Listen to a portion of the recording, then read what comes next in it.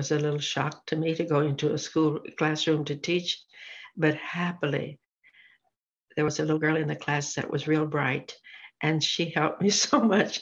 Like it said, take out your number books, uh, number books, it must be math.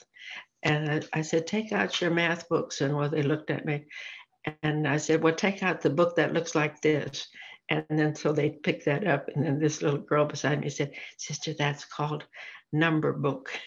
And so all my first grade, these little children taught me how to teach. I mean, taught me the next step.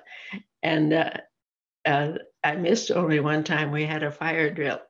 And by the time we were all got down and coming back, there was little Stanny. He was about on the fourth step going down.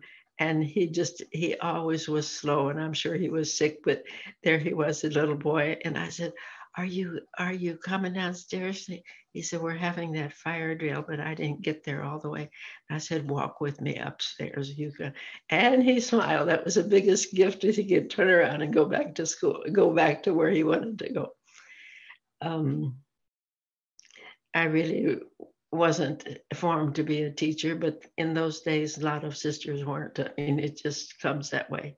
But um,